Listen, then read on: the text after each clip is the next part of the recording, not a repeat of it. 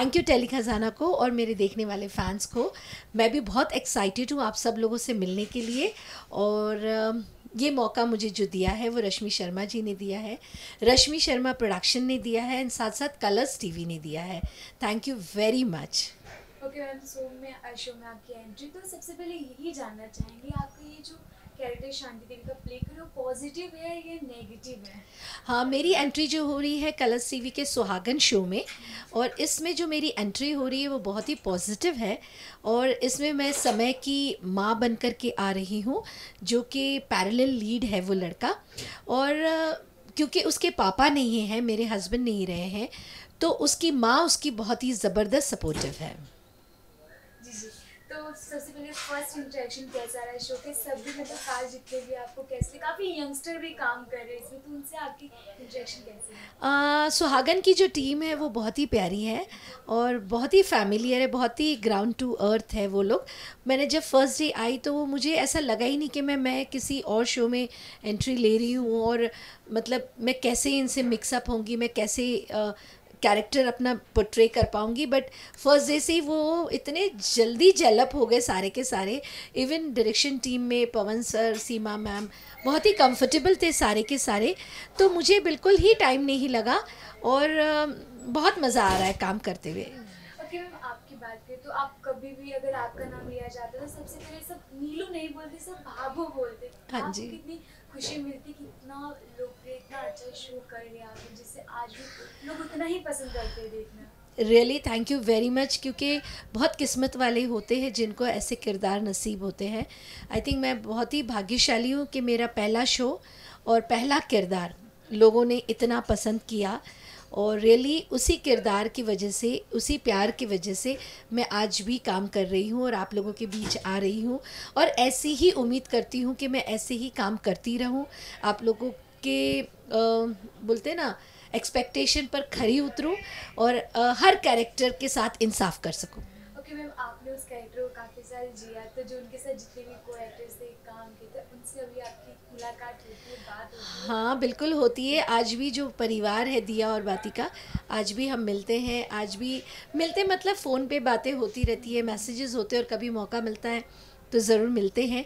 मतलब वो परिवार अभी भी है, वो परिवार टूटा नहीं। दीपिका का भी नया शो आया Yes, yes.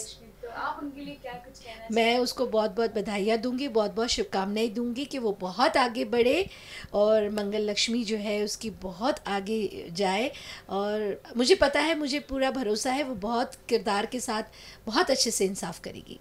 तो ऐसा कह सकते हैं कि भाभू और उनकी संध्या का जो शो है साथ में आ रहे साथ में एंट्री लिया दोनों ने। यस yes, देखिए ना दोनों ही साथ में एंट्री ले रही है और कलर्स टीवी पर ले रही है।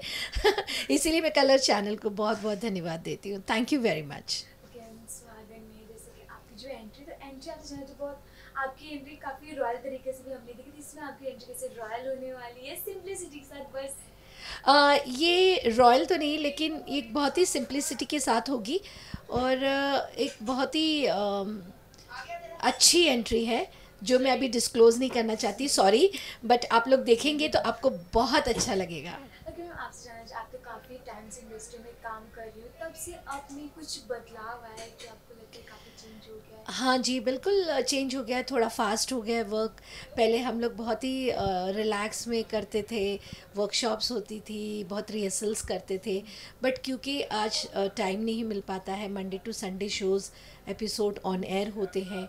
उसमें डायरेक्टर के पास भी प्रेशर होता है प्रोडक्शन पे भी प्रेशर होता है. आर्टिस्टों पे भी प्रेशर होता है। बट फिर भी थैंक्स आज के जो आर्टिस्ट हैं वो इतने अच्छे हैं, इतनी जल्दी ग्रास्पिंग पावर है उनकी कि वो बहुत जल्दी ग्रास्प करते हैं अपने कैरेक्टर को और बहुत अच्छे से निभाते हैं रियली हैट्स ऑफ़ ओके अभी पहले के जो शोज़ होते थे, आठ साल, नौ साल, दस साल कंटिन्यू चलते थे, अभी के शोज़ ना काफ़ी कम टाइम में चलते तो आपको क्या लगता है कि स्टोरी की इशू है मतलब जिस वजह से नहीं चल पाती है। जो ऑडियंस है काफ़ी ओ टी टी प्लेटफॉर्म देख रही जिस वजह से शोज़ नहीं देख पाती। नहीं देखिए एक्चुअल देखा जाए तो इतने सारे चैनल्स हैं इतने सारे प्लेटफॉर्म्स हैं लोगों के पास ऑप्शंस हैं। बट मैं तो ये कहूँगी कि उस चक्कर में खड़े रहना और इतने महीने भी चलना ये एक तरीके की जीत है। पहले इतने चैनल्स नहीं थे तो लोगों के पास एक ही चैनल था या दो चैनल थे या चार पाँच चैनल थे।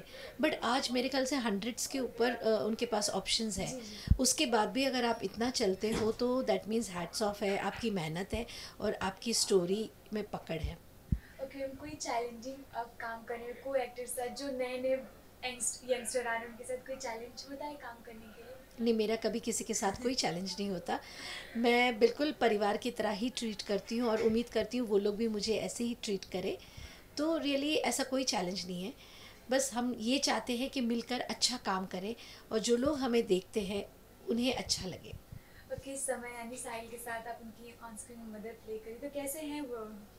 आ, समय इज़ वेरी नाइस मेरा उनके साथ अभी कोई सीन नहीं हो पाया है।